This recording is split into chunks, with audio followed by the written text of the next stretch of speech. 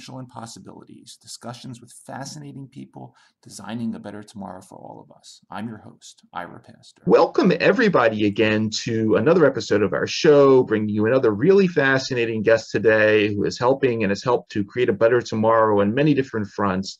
Uh, we have the honor today of being joined by Colonel Vic Suarez, who currently serves as the Commander, Chief Executive of the 6th Medical Logistics Management, Management Center in Fort Detrick, Maryland uh, this is the United States Defense Department's only medical logistics management center, which is ready to deploy uh, both domestically and globally, uh, leading uh, with expertise in medical material, medical maintenance, satellite communications to, to fully support operational forces uh, on a variety of fronts in this area.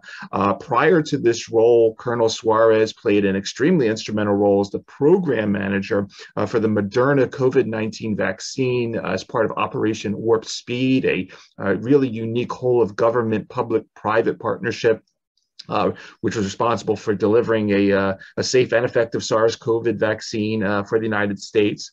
Uh, Colonel Suarez has also served uh, as Assistant Chief of Staff for Logistics for the United States Army Regional Health Command Atlantic managing uh, healthcare, PPE, lab diagnostics, medical maintenance, uh, supply chain for 14 direct reporting medical treatment facilities. Uh, he was chief of staff of the Walter Reed Army Institute of Research uh, and was also joint product manager uh, at something called JVAP, or the Joint Vaccine Acquisition Program, a biodefense advanced development vaccine program. Colonel Suarez graduated from UCLA with a bachelor's in anthropology, holds a master's of science in health services administration Administration, uh, as well as a Senior Service College Fellow Graduate Certificate from George Washington University Milken School of Public Health. Uh, he is also Defense Acquisition Level 3 certified in Science and Technology Management, Program Management, and Life Cycle Logistics Defense at the Defense Acquisition University. Uh, in addition to that, he's also a graduate of the Tufts CSDD, the Center for uh, uh, Study of Drug Development uh, in uh, areas like clinical pharmacology, drug development regulation, and the, uh, the Cornell University Pharmaceutical Management Program. in addition to all that, Colonel Suarez has served our country in active military service, a broad span of assignments from airborne infantry, special ops, mechanized infantry, and headquarters Department of the Army, including two combat tours as a forward support medical company commander and battalion level commander. We are extremely honored to have him. Uh, Colonel Vic Suarez, thank you so much for taking the time to come on this show today. And obviously, thank you for your long service to our country. Well, Ira, thanks for inviting me today. It's a it's an honor to be with you today. I know it's been a, a while since we've initially talked about doing this, and I'm glad we're able to to chat today for a little bit. Uh, what I wanted to just uh, share with you, Ira, is that any thoughts, opinions, or recommendations uh, during this talk are really on my own personal capacity and not officially representing the U.S. Army or the federal government's position. So I really appreciate uh, if you can just kind of put that in perspective for everybody that's listening to this podcast. We will do so we'll do so. I've really looked forward to this.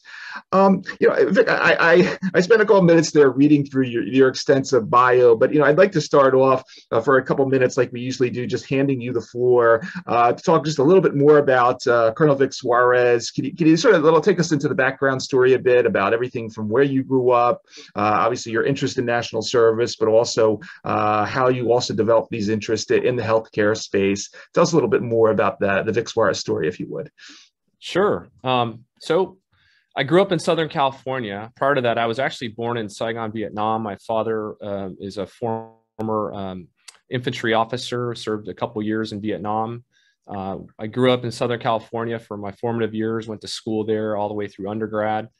uh, I ended up having an interest in the health sciences. Didn't know exactly which direction I'd go.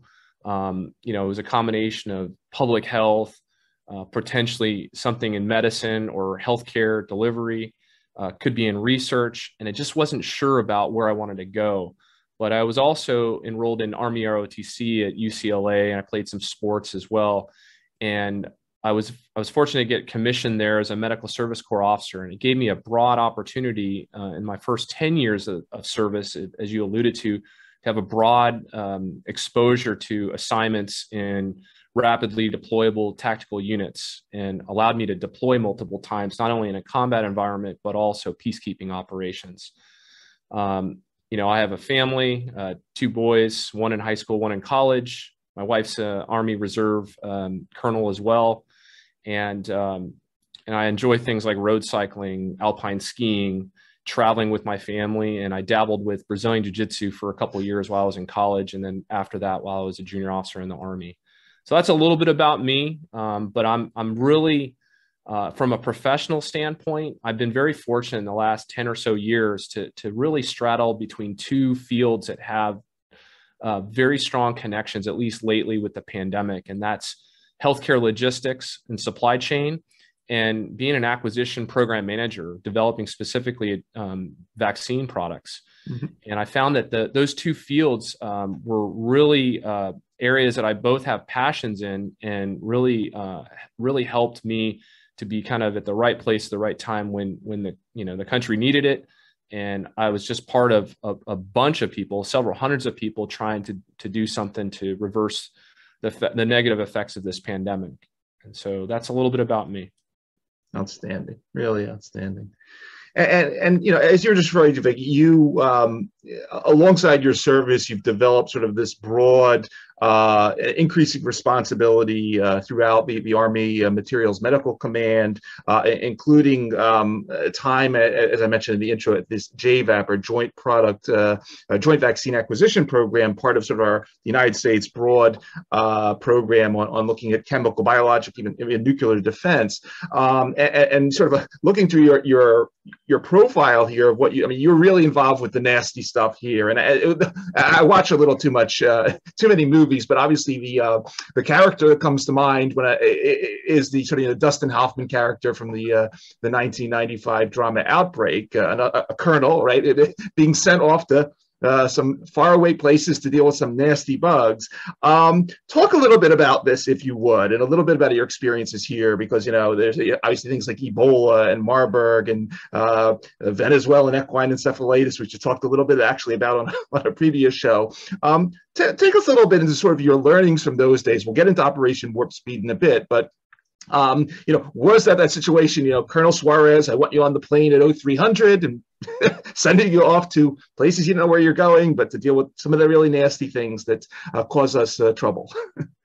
well, you know, thank goodness that the Defense Department has a, a chem biodefense program, and and really that that's derived from you know certain uh, information we know about certain adversaries and the programs that they have to do harmful things to to humans and so I was very fortunate back in 2014 to be uh, selected to be the program manager, the product manager for the Joint Vaccine Acquisition Program. It's, it's an advanced development biodefense um, program.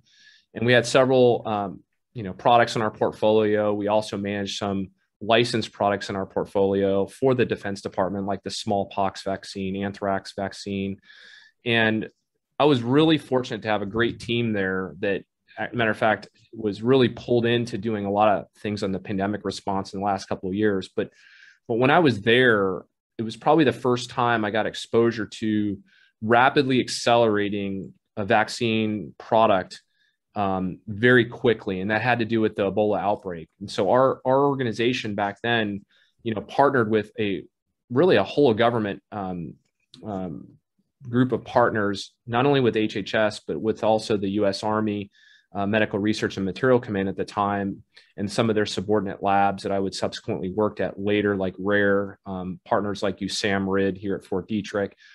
And that program, uh, in conjunction with the folks at DTRA, the Defense Threat Reduction Agency, was able to rapidly identify a candidate vaccine for Ebola that is currently licensed right now with Merck and has been used several times in certain outbreaks within the Democratic Republic of Congo.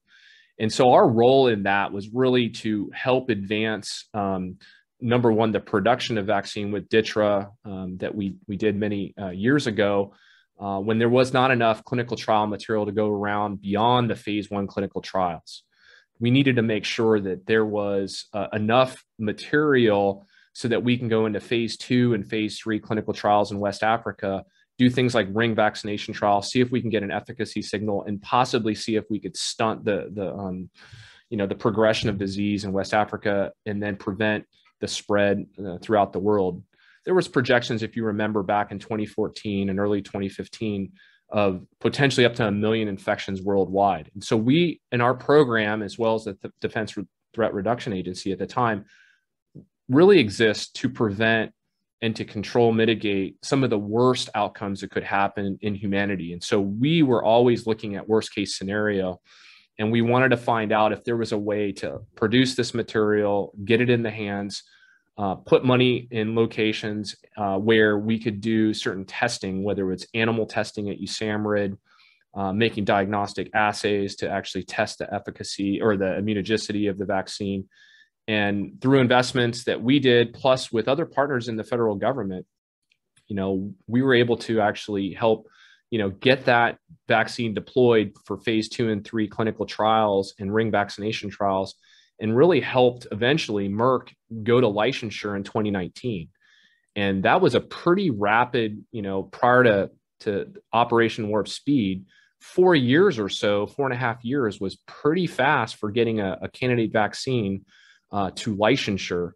And that vaccine's been used multiple times to kind of stunt the proliferation of, of outbreaks within West Africa. And uh, so that was really my first exposure to kind of knowing a little bit about different ways, taking a little bit of calculated risk on how do we find the critical areas that we need to reduce some bureaucracy, put some effort in to help accelerate the advancement of a vaccine and and I think that experience really you know kind of shelved away for a couple years was able to be brought forward when I got called on to Operation Warp Speed, and so that was a really uh, great experience. It was a great team, and there's a really a good reason why the nation has the the, the Joint Program Executive Office for Chem Bio and Radiological and Nuclear uh, Defense. It's it's an absolutely essential program to the country.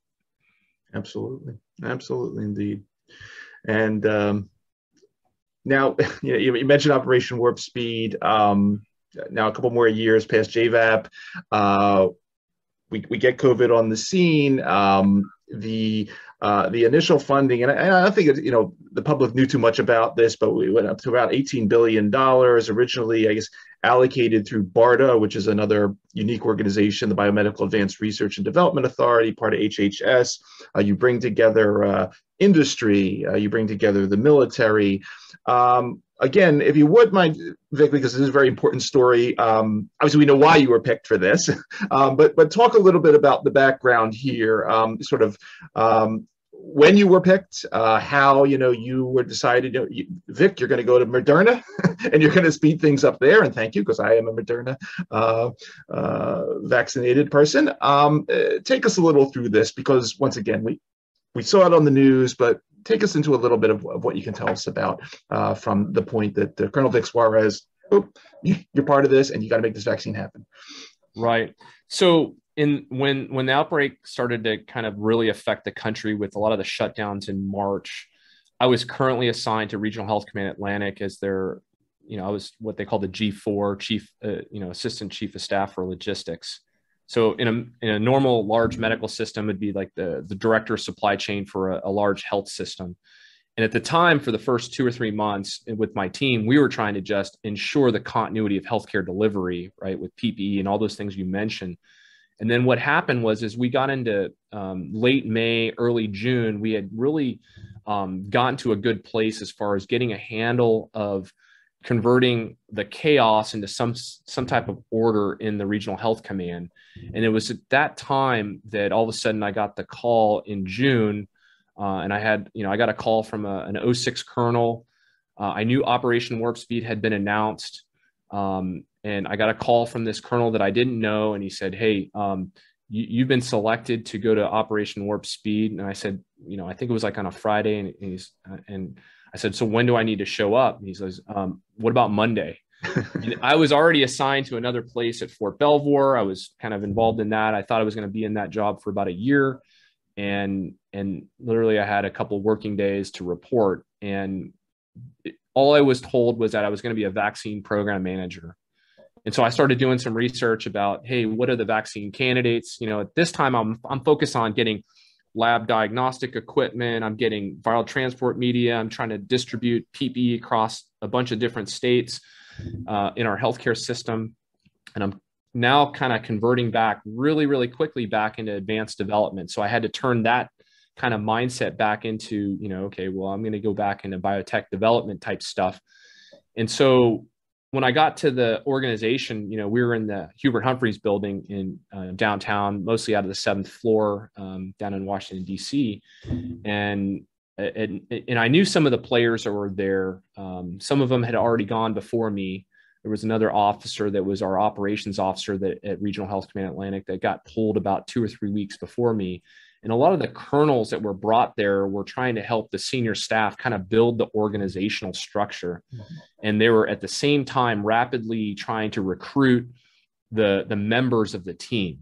And so, from what I understand, you know, General Perna got pretty much carte blanche. Whoever he could, he wanted, he can get on the team. And so, what I found out subsequently is it didn't matter if you were in command, it didn't matter if you were across the country or another country if your name got nominated and you got screened and selected, you were you were pretty much going to this organization, and they were looking for skill sets um, other than just vaccine program managers. That was my background uh, before why I got pulled in, uh, I believe, and and also my experience at JVAP. But there were people that got pulled into this assignment that had really strong background in operation systems analyst work, like like ORSA type people, data analytics folks people that had strong, uh, deep knowledge and experience at the senior level. So people that have been over 20 years in, in their careers uh, to be specialists in certain areas. And so I didn't have much time. I originally went there and I looked at um, the portfolio and I was, you know, my experience told me like, hey, my experience was to to maybe be a PM for one of the the teams that um, were aligned to one of the bigger companies. So you know that that's where I was comfortable. My bias was, you know, a lot of the you know those companies that had previous experience with getting vaccines to licensure really had the best shot at doing this, and I, I had really a hesitation with some of the smaller companies. Uh, but uh, there was a, a, senior leader there that was in charge of vaccine development who said, "Hey, uh, Vic, we want you to go on the Moderna team." Um, and at first, I, I, really didn't know much about Moderna. I just heard that, you know, you know, I, I heard of them. Um, they were in the news quite a bit. They were making some, you know, bold statements, and you know, they were a relatively small company. You know, less than a thousand employees. They were really a clinical stage uh, company that had real no no commercial uh, products, um, nothing ever approved.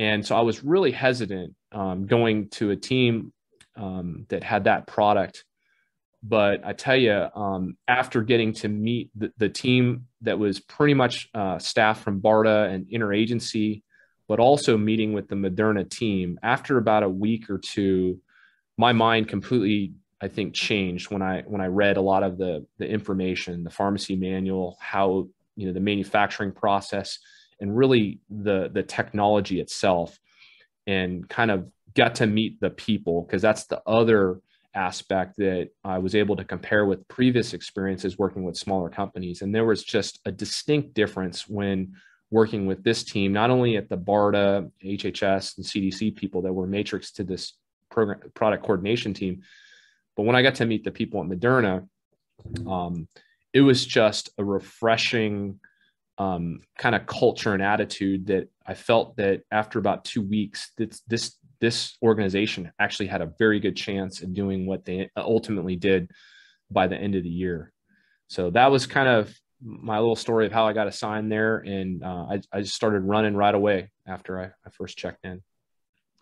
It, it, turned out extremely successful. Uh, uh, Vic, obviously, in the name of Operation Warp Speed, uh, it, it, implies, uh, as we all know from our science fiction uh, uh, watching, that there's a, a, bending of time involved in traveling across the cosmos.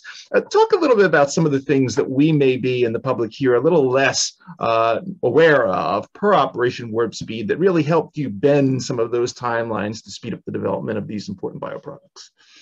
Yeah, Ira, thanks for asking about that. Uh, you know, I think in the public we've heard about, you know, we've done things in parallel and, and some of the the things that we did as far as, you know, trying to gain some speed uh, over development. What I wanted to share with you and, in the audience is some of the the very specific things that I could highlight that maybe some folks weren't um, uh, don't really have a background in like why these were able to get us more time. Um, without sacrificing safety or efficacy of the development of the vaccine and therapeutics. So, so first and foremost, um, it was absolutely critical for us to use the Defense Production Act to get both the research and development and the manufacturing supply contracts priority rated. That is absolutely fundamental to scaling up the manufacturing of vaccine, as well as access to key raw materials, pieces of equipment, and, and anything associated with producing any of the vaccines or therapeutics. By, by getting that priority rating, uh, which is we call a DO rating, uh, we were able to award letters uh, to various manufacturers. In this case, with the Moderna Product Coordination Team, they were the first organization to get one.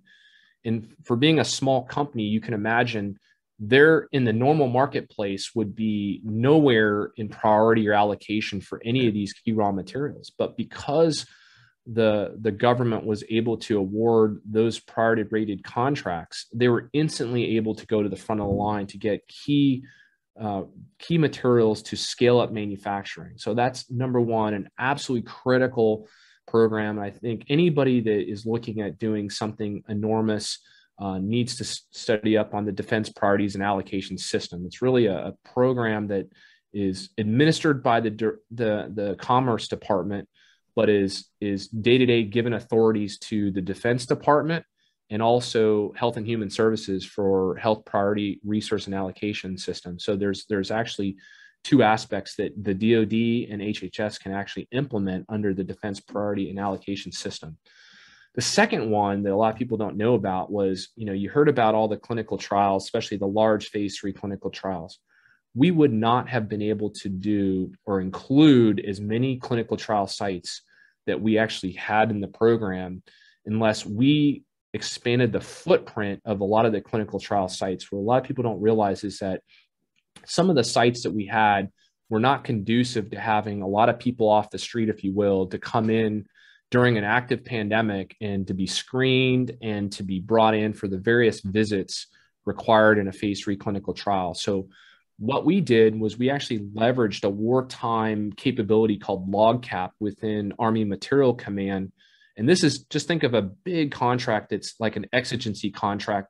In time of war, you could go to another country and basically build base camps and dining facilities and all these things right away with these large uh, industrial based contracts. We were able to uh, leverage a contract like that and use that domestically to build out uh, clinical trial site uh, trailers and additional footprint at clinical trial sites that were limited in size and they could not take on the volume of people that were to be enrolled in these large phase three clinical trials. That, in, that allowed us just in the Moderna trial to include about 20 additional sites across the country, which was absolutely critical for a couple of reasons. One, we got more sites in different parts of the, the country where we can recruit a more diverse population. That's one. And two, it protected the workforce, right? These are people that we had no protections against these people other than PPE. And so if we created trailers that could screen people outside of the main clinic, we would be able to have ways to actually um, have them do follow-up visits without having to have people come into the building unnecessarily. And we were able to roll out these you know these clinical trial um, site trailers very quickly using the army material command and the LogCap contract all over the country. And we set up hundreds of these places all over the country. Third thing was a new agency under Homeland Defense called uh, CISA, the Critical Infrastructure and Security Agency. This agency, I'm telling you, this is probably a, an organization that most people in the country have never heard about. These are the quiet professionals that make things happen in the background that you would never think about, right? When we had a when we had a, a, a requirement to load or to have a, a, an air handling system, we're talking an industrial grade air handling system go on top of one of our manufacturing site um, rooftops, and there was a defined you know plan within our schedule we could not get permission from various states to travel on a Saturday and Sunday to go on the, the, the highways because there was a wide load. This thing had like a 14 foot load, mm-hmm. had to have escorts. It was coming from the Midwest of the United States, and there was a big traffic jam somewhere in the country. And this this delivery was going to happen on a Sunday versus like a Friday. And one of the things that we weren't willing to do is we weren't going to sacrifice one day on the schedule we weren't not going to slip. So we just called up CISA. This was like in the evening on a Friday night. And within minutes, th- this organization had contacted multiple state police departments, governor's offices, and they had arranged for escorting this shipment through multiple highway systems across a couple states that weren't going to allow them to drive on a Saturday and Sunday and make sure we had delivery over the weekend. And so all we had to do is call this team that was that they had a cell assigned to warp speed and they literally called everybody that they needed to do to include like state police superintendents and said this is a national emergency we need you to provide escort and meet these trucks at this at your border stop and bring them in all the way into massachusetts so that's another thing that people don't realize and that same team when we had a, an accident with one of the FedEx trucks for a critical part to go into a manufacturing site. It was in a major accident, and the and the and the truck was um, impounded in one of those lots, mm. and and because there was a death in this accident, uh, we we they were originally told that we couldn't get access to this truck for for weeks because there was an investigation, and this was a part that was coming from another country. And we needed the part to install to actually make you know manufacturing run. And this agency got in touch with the local authorities there said this is a national emergency. Uh, we had the, the the benefit of having one of our the carriers i believe it was fedex who had a manager that worked after hours he said i'll meet the team there they went into the impound lot in the middle of the night and they went through the wreckage and they actually pulled this critical part out and they got it and they hand delivered it to our manufacturing site. Those are the little things that that that would delay the schedule by sometimes days or weeks. And our thinking was we're not going to slip one hour, we're not going to slip one day. And we had an agency like CISA basically um, making all this stuff happen behind the scenes. And it was just absolutely amazing. The next thing is really how the organization was structured. If you look at Operation Warp Speed, I know if people Google the organizational structure, Stat News, I believe, put out like a like a bootleg version of our organizational structure. I would tell you that that structure, although it looks very confusing, is was very flat. Even though we had a four star and very senior people in the organization, this organization was flat, and due to that flatness, allowed us to make decisions very quickly mm-hmm. and we could have access to all the senior leaders really quickly and i will tell you that um, how that your organization is um, organized and the people you select in it can make the very big difference on how quickly you can go and another unsung you know uh, another unknown thing is we had an army of very capable analysts and consultants that we were able to bring in that had deep expertise expertise in various fields. And that allowed a lot of us in like key positions to actually go faster because we had a, an army of analysts and consultants that can quickly analyze data, infuse them into charts that we could brief uh, by providing little little guidance. And I will tell you that by bringing in capable consultants and experts in certain fields allows the leaders, whether you're a program manager or a product coordination team lead or you're the clinical trials um, lead, allows you to go faster and work more efficiently during the day. So those are just some of the highlights that I would share with you that a lot of people um, may not be aware of. Really, really awesome part of the story, Vic. Really, really cool stuff.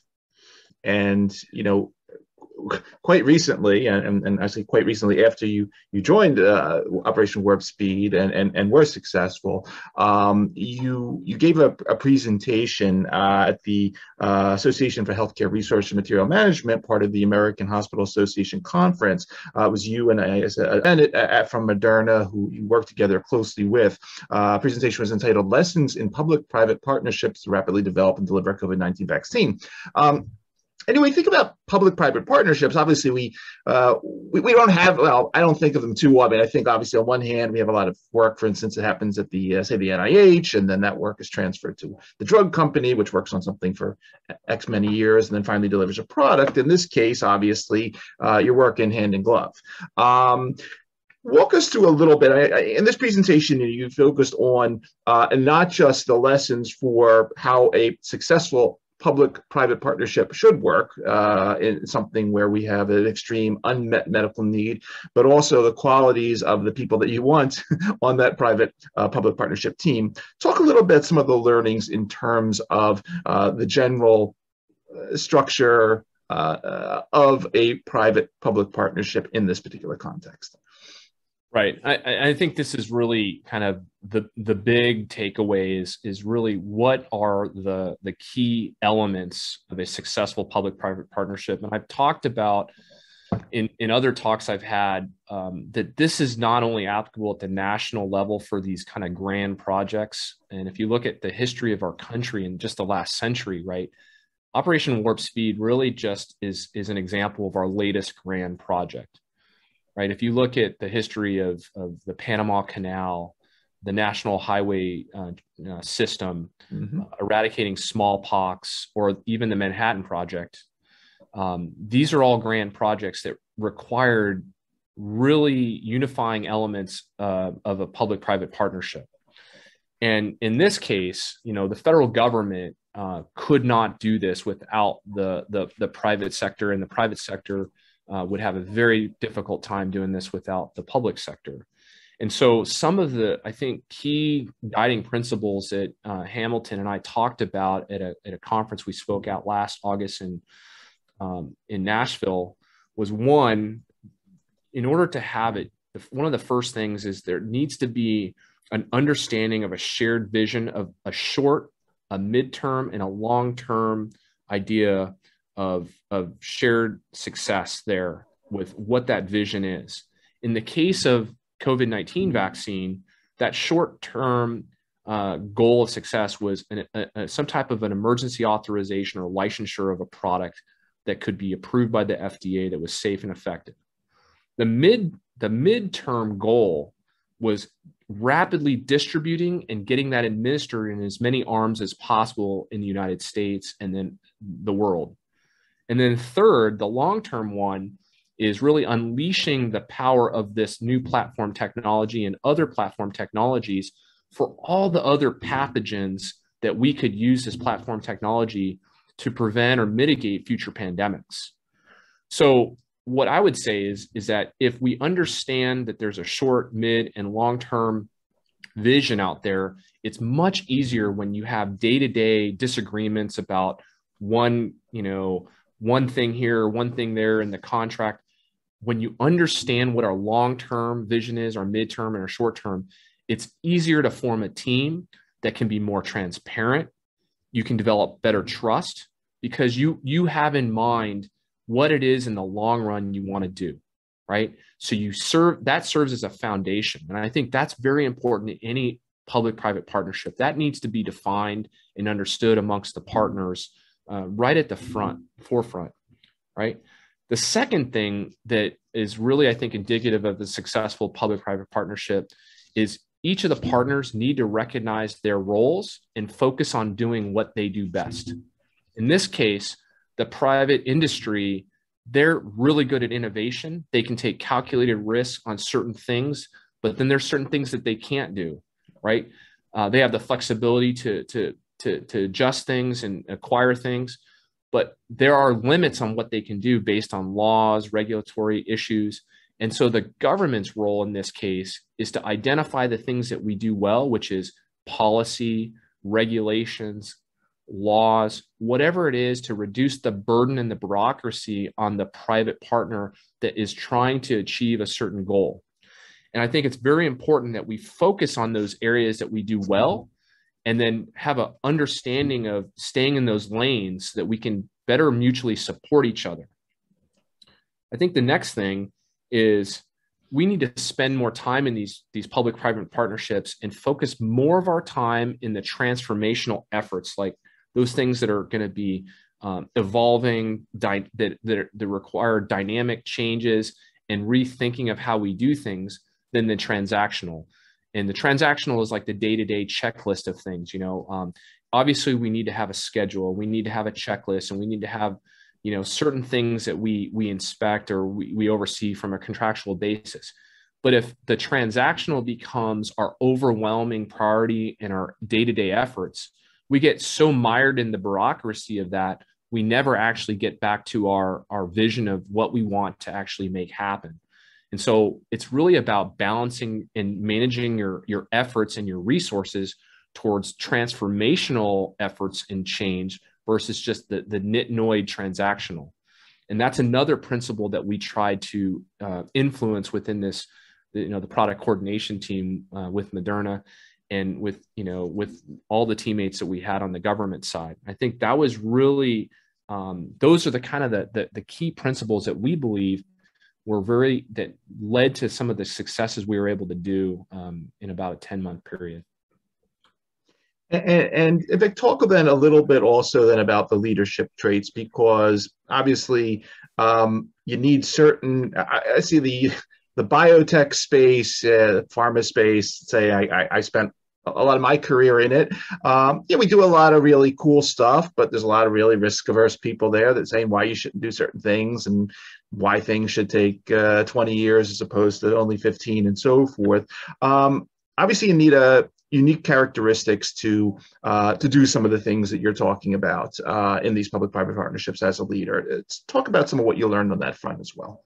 Right, I agree. Um, I think some of the things that I, I, would talk about in this space is is one. It goes goes back to the risk aversion for for these grand type of projects that have a lot of uncertainty there, right? And uncertainty is just really another word for risk. Yeah is you, you need a certain amount of people that are that are really bold leaders that are able to take calculated risks. So these aren't people that are cavalier with taking their risk. They, they have they have measured, calculated risk-taking efforts, and they have really a reason behind why they're doing certain things. Those are the kind of people you want to recruit within this space or anything that's going to require something that's that requires a lot of transformational leadership uh, to, to create something that maybe doesn't exist before. The next thing I think you need is you really need a, a pretty resilient group of workers. Um, we're talking about people that that have a lot in the tank, right? These are people that have a, a lot of built up ability to absorb the uh, enormous amount of workload that they're going to undertake.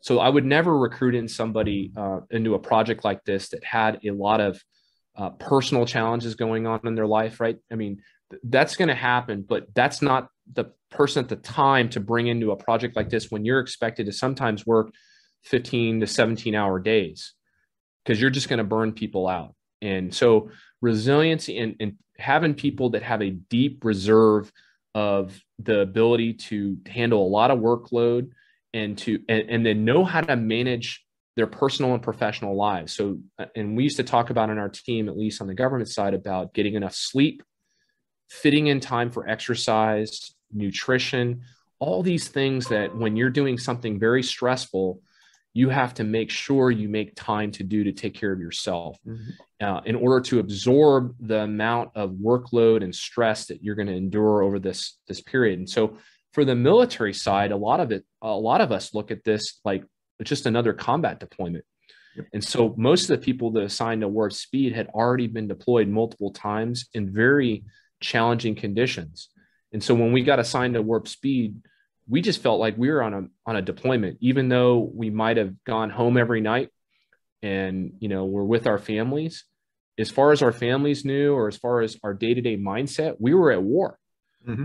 and we were at war with a virus and then that's how kind of our mentality was set up and i think a lot of the the partners on the private side and the public side felt that they were in that same mindset and and when you're in that mindset it's easier to kind of prioritize what you need to do um, and and really focus on the mission mm-hmm. at the same time we we still have to remind our people to take care of yourself and your families as well and I think the third thing that was really, really helpful, and I saw this with the, the senior leadership, and and I would I would even say you, we saw this at the four star level and even um, you know at the senior civilian level was an inclusive kind of mindset when it came to decision making and I, and I think that was something that was remarkable for those people that were internal on the team was that if you were in a meeting even with General Perna or Moncef um, at some point, you know, they might share what their initial thoughts were on something,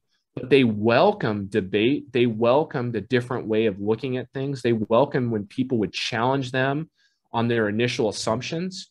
And oftentimes it was because of that environment that was set up, that inclusive environment where people, even lower ranking people, could speak up and say, hey, um, this is some information I have. This is what I recommend. And this is why that was accepted. Those people were not shut down. They were actually listened to. And I think that makes a huge difference when you're doing something that requires this amount of effort and risk taking was was you needed an environment where inclusivity and people's voices could be heard even if they were lower on the the um, the food chain um, and and several times the pushback actually had the senior leaders actually change their minds and actually go in a different direction which i found to be refreshing and, and I think that's another kind of lesson learned here about the types of not only people you have, but the environment you set up and the kind of the ground rules for dialogue.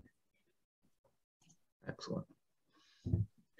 Vic, you know, you you mentioned, um, you know, I was part of that sort of uh, healthcare care, sort of the daily wellness, both, both physically mentally. I know that uh, in our discussions offline, and also, and I've watched some presentations of yours in the past. I think when you were at the GW, uh, talking about your, your own interest in sort of uh, human health, human enhancement.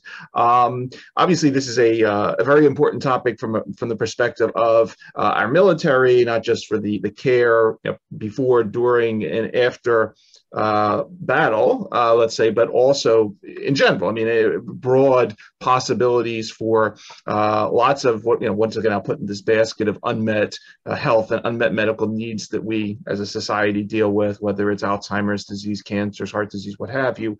Um, you're, you're, leading the, the, the six medical logistics management center, as I mentioned at the beginning now talk about some of your other interests because i know they're you know they're quite broad. Uh, take us a little bit of what some of your interest in the area of, of human enhancement human possibility are and some of the things you're interested in in doing uh, specifically in this area if you will sure. So i'm i'm uh, I'm, I'm passionate about human health and what the potentials are with with how humans can increase the quality of life. I think this is important and i think i, I can tie this to even um, some of the you know the things we've been dealing with in our country in the pandemic also with military readiness um, and and so this is an area where you know uh, for the year I was a research fellow at GW School of Public Health um, as part of an Army War College fellow there. I was able to actually do a research project uh, for the U.S. Army on looking at different ways and means that we can improve the readiness of our force and improve kind of not only just the the medical readiness per se that's kind of the the checklist aspect of of the military's medical readiness but really how do we actually get to the point where we can have people achieve their optimal health? And really how how can they find ways to um, to really better pursue a longer and, and higher quality of life so this is an area that I've been fascinated with years. Uh, I'm a big fan of, of some of the talks that the current Surgeon General had um, when he was in the job last time about you know healthy aging. Um, I'm a big fan of some of the um, scientists are out there, like mm-hmm. David Sinclair at Harvard, that talks about you know slowing down the aging process, and some of the other um, prominent folks in this field. And I think when it when it comes back to you know the the things that I think that um, we could have m- maybe more of a conversation about is kind of looking at our healthcare system and areas where it's designed to not really have people be as interested in their in their own human health potential. I, I would mm-hmm. like to see a system where people are more curious about how they can be part of uh, improving their own personal health and, and conversations that can sp- start that. Because I truly believe that health is not just a consumption thing. It's not just something a commodity we we buy through health insurance or mm-hmm. only can get when we go to the doctor. But I'd like to see the conversation shift a little bit more to how we can see health as son, uh, uh, as a as a, a, as a means of something we can actually produce, mm-hmm. right? Something that we can actually um, build upon, not just only preserve, right? And so you take the the the uh, the model of you know you look at professional athletes or those that are like even you know masters athletes right? They're not in just the the mode of only just trying to maintain what they have but what they're actually in the business is of actually trying to produce health right? Yep. to actually get better numbers as far as their their biomarkers and and certain things that they they they feel better about themselves. They they actually can actually live longer and actually enjoy life a little bit more um, I, I think we need to have more of a conversation in that. I think one of the things that I, I you know, came, I'm, I'm an advocate for is more use and more research and implementation of health risk assessments within our model of healthcare delivery. I don't think that we do enough about um, really measuring our health risks in a way uh, where people, as really patients, understand where their health risks are and where they are, where there's potential for them to actually improve. And I think by not really seeing that on a regular basis, uh, most of us are just kind of in the dark on that, right? And we don't have a, another form to compare against people that are, are, are within our, our peer group. You know, if you're a 35 year old male or female, you should know where your your numbers are as far as all your biomarkers and your health status compared to people of your peer group. So you get an idea of kind of where you're at. And then specifically within the various domains of your health, are you at high risk? Are you at medium risk or are you at low risk? Hopefully in some type of graduated, you know, quantitative scale on a health risk assessment that's hopefully validated by NCQA that's been tested thousands and thousands of times. So it's pretty darn accurate because it's got hundreds of thousands of people that it's it's referencing, you know, health outcomes based on behavior and certain biomarkers. I don't think we have enough of that within our health system. And I think if we do, if we are able to shape the conversation more to that, then I think what ends up happening over time is that we become more interested in being part of the equation. And I and so the other part of me that says you know is into the biotech and, and the development of, of technology i think technology alone can't solve everything mm-hmm.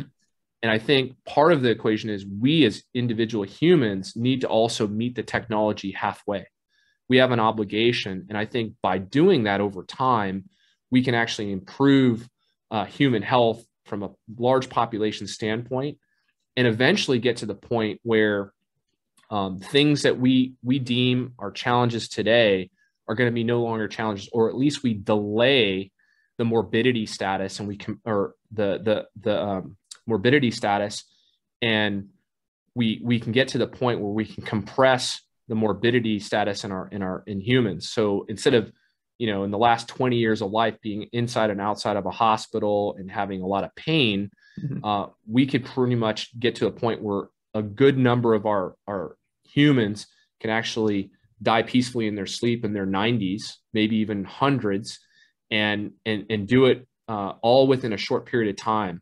Um, you know, maybe getting sick and not being in and out of the hospital. And so that's kind of where I'm a big fan of, of, of really is the idea of comp- compressed morbidity yeah. and how do we get there?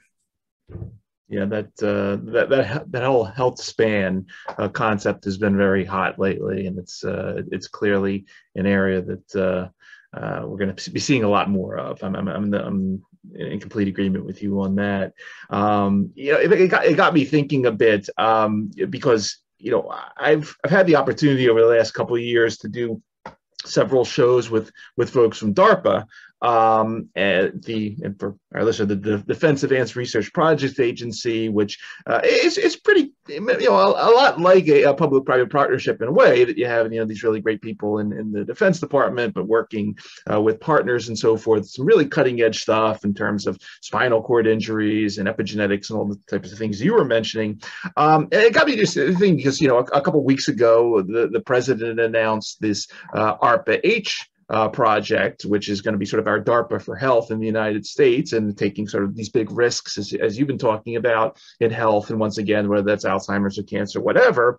Um, I'm just interested because, it, it, you know, there's been a little debate going on. I've seen in the news, you know, that, that this ARPA-H thing, is some people want to run it like DARPA, uh, really a lot of risk taking, uh, uh, and some of them put put in the NIH where things happen maybe a little slower. Um, if the president was to call you tomorrow and say, "Here, Vic, you got to set this thing up for us. Um, how, how would you model something like an ARPA H uh, to, to take care of some of these other issues that we have coming our way, whether it's a tsunami of Alzheimer's disease or uh, the cancers that we're, we're not dealing that well with yet, uh, and so forth? What are your thoughts on ARPA H? Yeah, so what I'd say in general is that I'm not I'm not opposed to the idea, especially these grand projects to get after things that really we've had underinvestments and projects against what I would say is, and I go back to some of the grand projects that our country has um, dealt with. Mm-hmm. If you look back in the history of the grand projects, just about nine out of 10 of them or so had some type of military element to them. Yep. And the reason why I think that many of them were successful is because of the military aspect to them. And it's not because the NIH is not capable of doing it. I would just tell you that there are certain there are certain things that we in the military uh, are trained to do. We are leader developed since we were, you know, junior officers for 20 some odd years throughout our careers to um, to lead people and to oversee projects that are that have great stakes in them. And I think part of it is is that I think we would have to be careful that we're not re- you know redundant in some of our efforts between maybe what DARPA is doing mm-hmm. and what ARPA you know this other project is doing. But I think it's a it's a good step in the direction of trying to create infrastructure that's focused on an area. So, for example, you know the the, the president's national COVID nineteen preparedness plan, you know, creates now a institutionalized uh, version of what we had with Operation Warp Speed. It turned into the CAG, and then now it's called H Core. Mm-hmm. I think I think any time where we try to institutionalize something where there's an unmet need makes sense. But I think the organizational structure is the, the absolute key of how uh, successful it's going to be. And what I would recommend is that there's going to be some element of the Defense Department in there uh, to, to have some type of bold leadership mm-hmm. that is really apolitical, um, that is not focused on interagency politics, you know, little p, um, that that is mission focused, mission driven, no egos, and really focused on getting the mission done. Now, there's a whole bunch of ways you can structure it, but one one method that I've seen work is you can have a day-to-day operation to kind of keep uh, the warm base and really do some transformational things.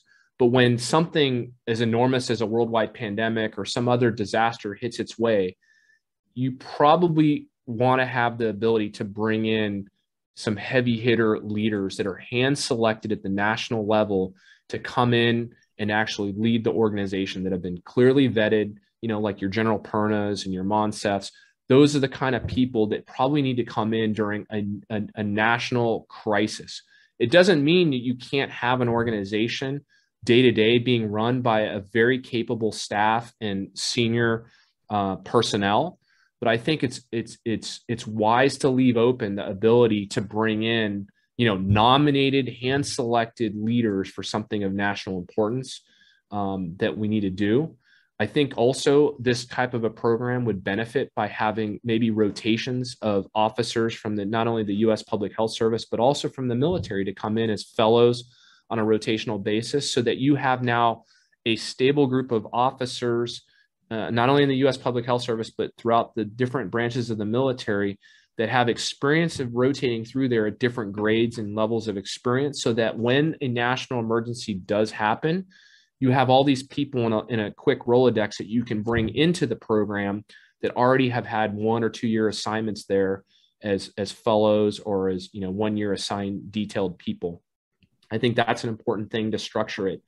Um, and so that's kind of the general uh, kind of initial thinking I would would have is do mm-hmm. not do not discount the role the military could play in, in into a project like this. Um, it's just um, it's the mindset and the culture that I think it's going to lend itself to really doing um, high risk, high reward events, and we have uh, decades of of results. Yep, absolutely, absolutely.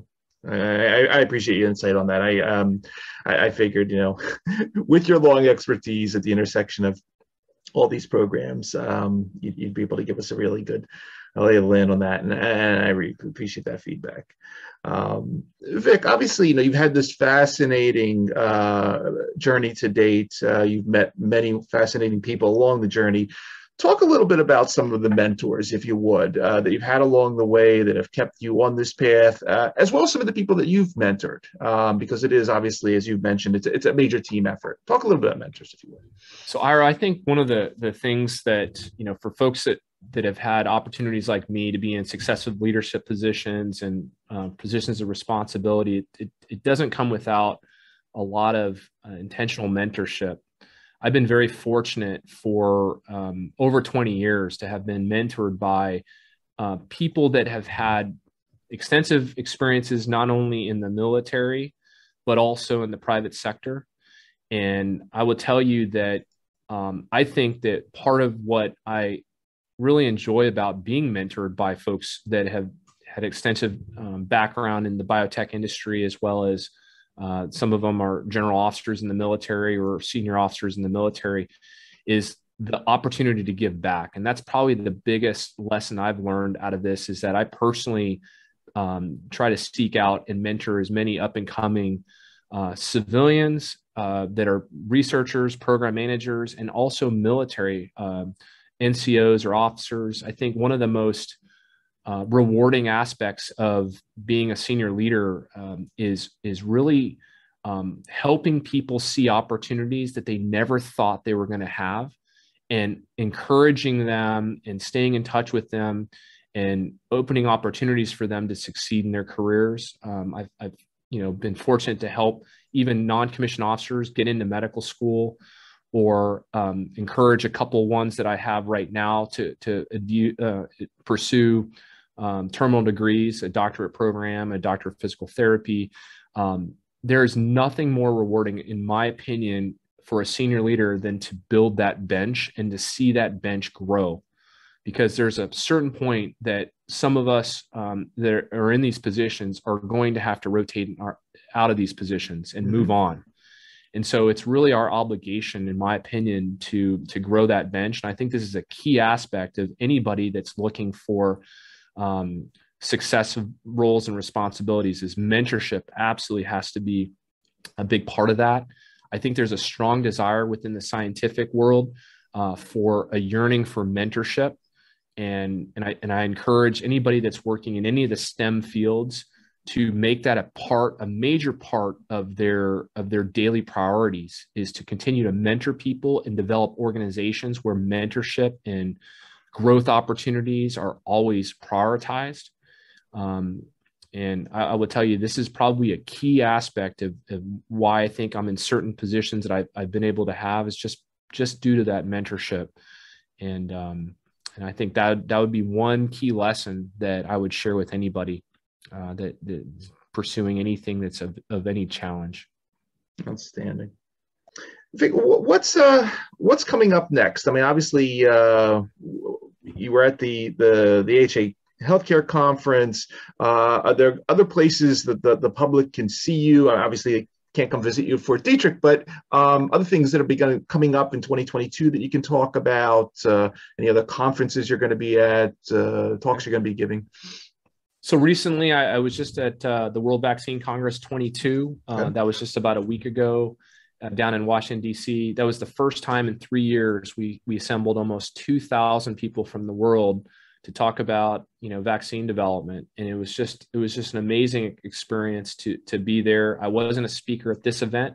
Okay. Um, I was in a lot of the talks. Um, it was great to see a lot of friends and colleagues, you know, advance the science, talk about um, some of their work throughout, you know, industry and the government.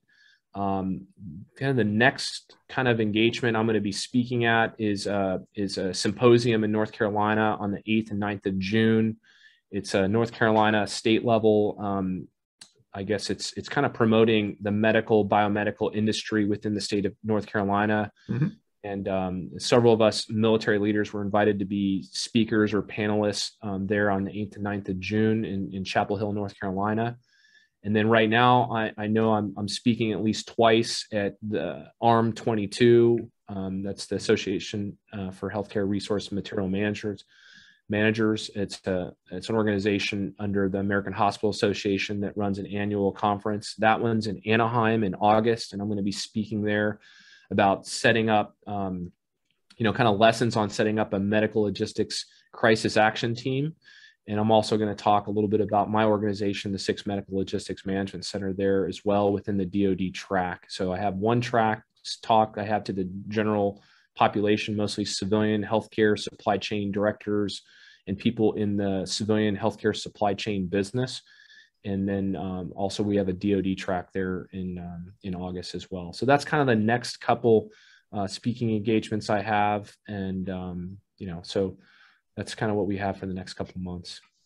Awesome, outstanding. Um, Vic, I mean, it's a it's a fascinating story, a fascinating journey you've been on. Um, I take my hat off to everything you you've been doing. Uh, I want to continue to follow you and, and watch you progress through all these important programs uh, because it's it's doing so much to uh, to benefit uh, society, well, not just here in the U.S. but around the world. Um, and, and, I really wish you the best with all of it. Um, for for everybody that uh, is going to be listening to this particular podcast uh, across the various uh, networks or watching on the YouTube channel, again, you've been spending time with Colonel Victor Suarez, Commander, Chief Executive of the Sixth Medical Logistics Management Center, Fort Detrick, Maryland. Uh, Vic, I want to thank you again for taking the time to, out of your schedule to come talk to us for a little while and educate us on everything you've been up to. Obviously, thank you for doing it and thank you for your long service to our country. And as we like to say on this show, uh, thanks for helping to make a better tomorrow for all of us via what you've been up to. It's a really wonderful story. Thank you, Ira. It's been an honor to be with you this afternoon and uh, really appreciate it. And I wanted to just emphasize you know all the projects i've been on it's all it's all about teams. And it's it's about forming that team. And there's hundreds of people that were involved in in some of the projects that we worked on at operation warp speed. And even going back to the ebola outbreak and, and trying to rapidly accelerate a, a vaccine candidate against ebola it's been hundreds of people in the background. I've been honored to be you know in these positions during these times of crisis. And uh, it's it's I learned so much from working on teams and really helping develop and lead teams. But it's really a team effort in this endeavor. Got it. Well, it was an honor to be able to profile you, and really appreciate it. All right, be well, Vic. Good seeing you. Good seeing you.